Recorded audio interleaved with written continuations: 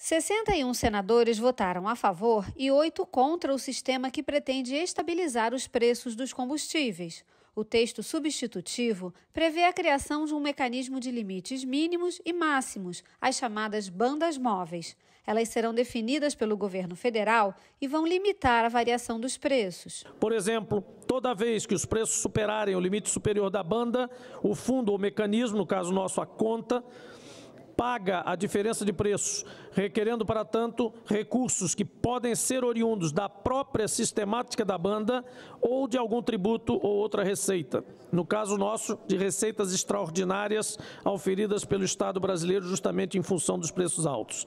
Importa verificar que o sistema não implica qualquer tabelamento de preços. A proposta também criou o Auxílio Combustível Brasileiro, um valor mensal de até 300 reais para motoristas autônomos de baixa renda, que seriam os motoristas de aplicativo, motociclistas e condutores de pequenas embarcações. O orçamento previsto para o programa é de até 3 bilhões de reais.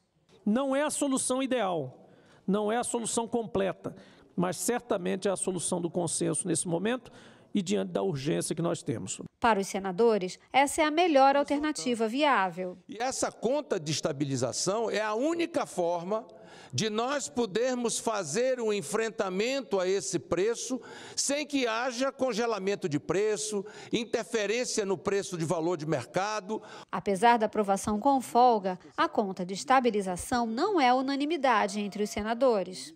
Tem defeitos gravíssimos da história passada brasileira intervenção, tabelamento, vem a criação de um fundo cuja renda, disse bem o senador Oriovisto, num primeiro momento pode ser suficiente, mas depois não é. Ah, você acaba por 90 dias o preço tabelado, não reduzir se for necessário, quer dizer, o projeto tem dificuldade. Se nós pensarmos em termos de prazo, em termos de benefício, para que um fundo de estabilização conseguisse suportar um real que fosse no litro de combustível durante um ano, nós precisaríamos de 112 bilhões de reais. Ah, mas não vai ser preciso estabilizar por um ano, apenas por três meses. Muito bem, seria um quarto disso, 25 bilhões ou 30 bilhões de reais. Bom, mas e daí? Estabilizou. O dinheiro acabou, não tem mais fundo? Não. Aí, quando a gasolina baixar no resto do mundo, aqui no Brasil não abaixa. Aqui continua naquele preço estável para recuperar o fundo.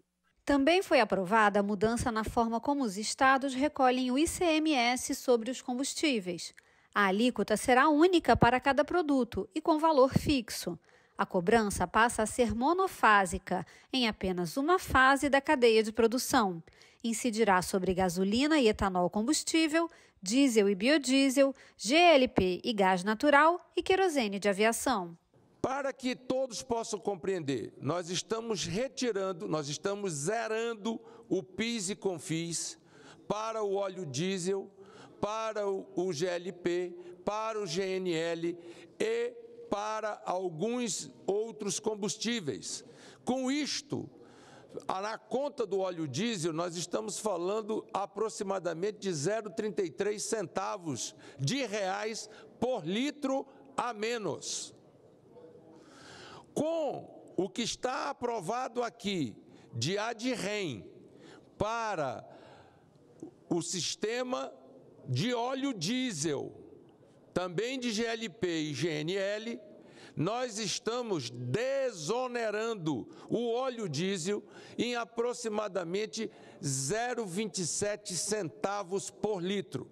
Então, para que o brasileiro que está nos assistindo possa compreender, nós estamos reduzindo aqui 0,60 centavos o litro do óleo diesel em PIS e CONFINS e, e ICMS. Para o relator, as soluções são temporárias e urgentes, principalmente nesse momento em que o mundo enfrenta uma guerra.